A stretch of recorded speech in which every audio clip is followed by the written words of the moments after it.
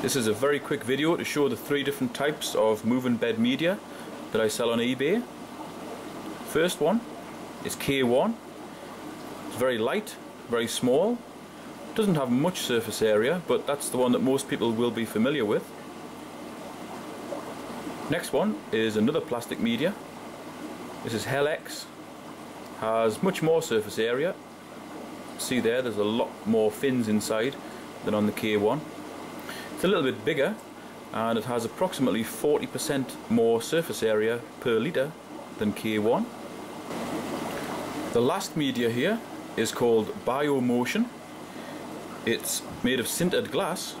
It's actually 97% recycled glass with a little bit of sand and the little white flecks that you see on the outside here are montmorillonite clay.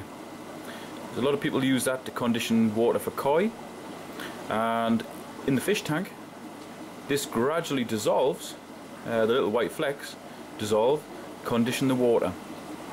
With it being sintered glass it has a massive surface area. It's actually the only sintered glass media that reacts like K1 and Hel-X and any other sort of plastic moving bed medias in a moving bed. It's the first of its kind. And I'll show you just how much surface area it's got. There you go, you're actually looking inside the media there. I smashed a bit open with a hammer. See the honeycomb effect? Absolutely massive surface area. It really is one of a kind. Excellent media.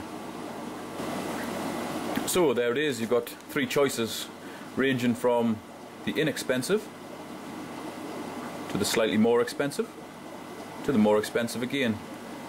But not much surface area, a reasonable surface area and a massive surface area. This really does make a hell of a difference. If you're making little internal moving bed filters for your aquariums, this this really is the stuff to go for.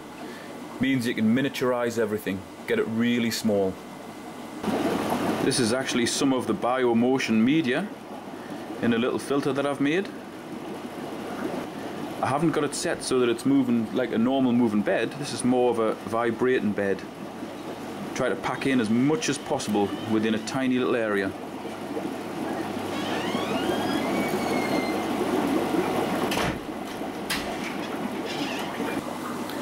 Because of the nature of the biomotion media having lots and lots of surface area compared to these two plastic medias not only is it suitable for use in a moving bed filter, it's also great for a static bed filter, standard filter.